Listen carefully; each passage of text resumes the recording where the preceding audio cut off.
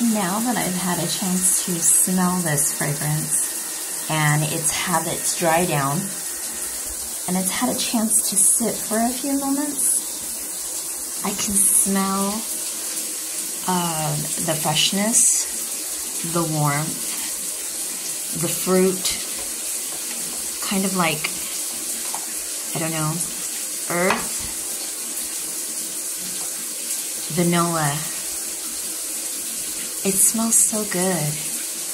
And this is a men's cologne or a men's, uh, it says women, so maybe they have a woman's as well. But I think either a man or a woman can wear this fragrance. For $11.99, this is a very good perfume.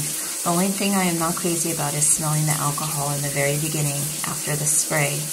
And then once it dries down, that's when everything else hits. And it smells good.